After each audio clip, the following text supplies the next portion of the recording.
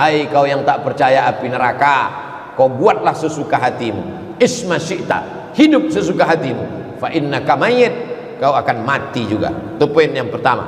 Yang kedua Siapa yang menembak dari jarak dekat? Siapa yang menyiksa membakar? Siapa yang mengotopsi tanpa izin keluarga? Kenapa perutnya dibelah? Kenapa kuritnya biru-biru? Kenapa dipukul pakai senjata tumpul Kau juga akan punya anak. Kau juga akan punya keturunan. Bagaimana kalau anakmu yang dikandung istrimu 6 bulan 9 bulan 10 hari Dibesarkan dengan tetes air mata? Enam orang itu bukan anak kucing. Enam orang itu manusia. Sebaya dengan anak-anak. Kalau sekedar sakit Anjing pun merasakan sakit, babi pun merasakan sakit. Tapi kalau kau bisa merasakan sakit orang lain, barulah kau disebut manusia. Berapa banyak manusia tapi otaknya otak anjing, otaknya otak babi. Kenapa Ustaz sebut anjing dan babi?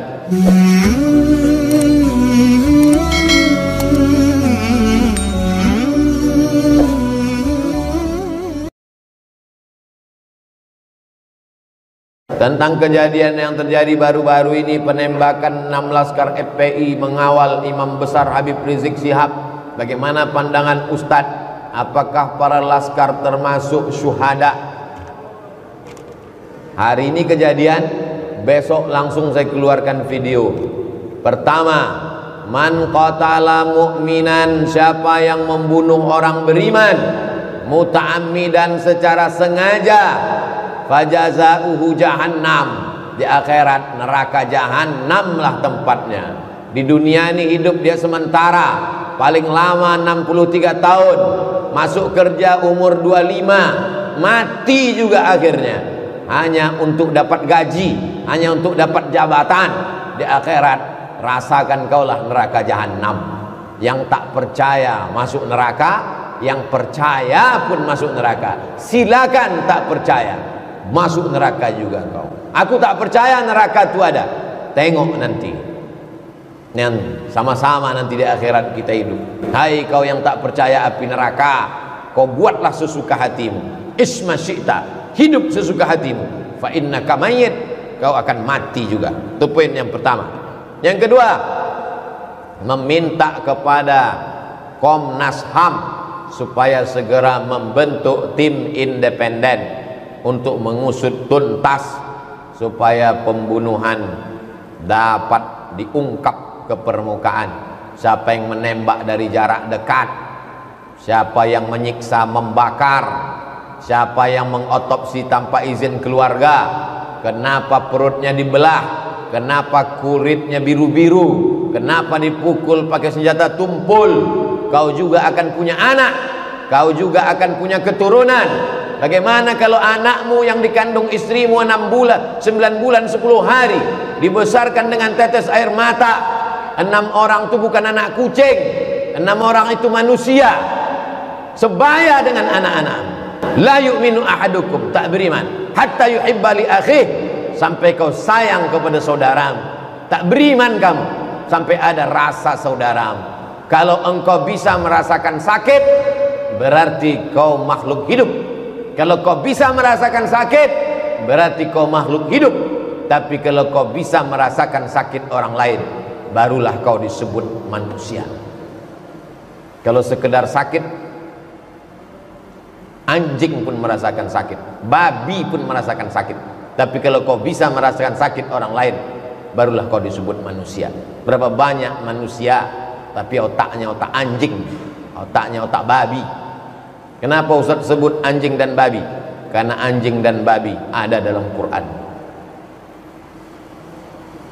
Tiga.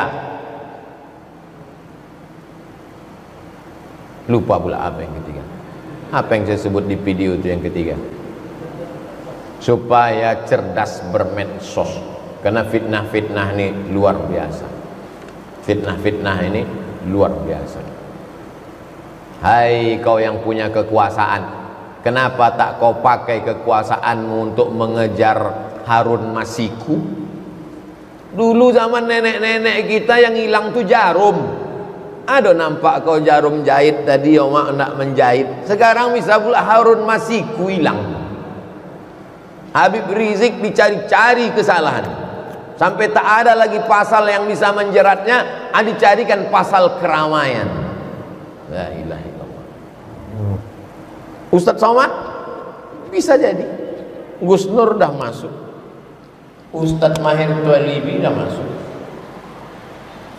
Siapa lagi yang sudah masuk itu di SMS dari saya itu hati-hati mat nampaknya kau tak lama lagi gitu.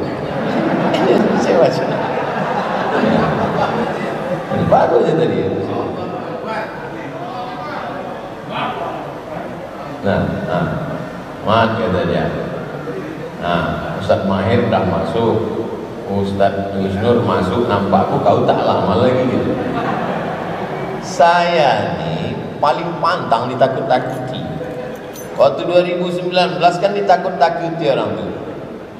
Hati-hati, kalau sampai Ustaz Somad itu berpihak, kami buka semua aib-aibnya. Masuk WA ke saya. Oh, berpihak saya langsung. Saya tak kenal Pak Prabowo itu, tak tahu saya dia. Tapi kalau semakin diancam, diancam mereka, dipoto mereka rumah saya dari atas atap tuh pakai drone Sampai semua surat-surat motor saya tahu di STNK BPKB nya Mau dipegang mereka. Kalau berpihak kau nanti kami buka kan ini. Menangis kuah, satu orang kuah di Pekanbaru ini datang menangis. Menjumpa saya, megang lutut saya. Ustaz, kenapa Pak Kuah menangis? Datang tadi orang ke kantor saya ngecek surat nikah Ustaz. Mereka udah pegang nih Ustaz. Jangan Ustaz berpihak nanti kalau Ustaz berpihak dibukakan mereka. Berpihak saya, menunjukkan saya melawan. Tak takut saya. Begitu juga dengan pilkada Medan. Saya tak ada urusan dengan Medan. Tiba-tiba datang orang 28 28 November menyampaikan pesan ke saya.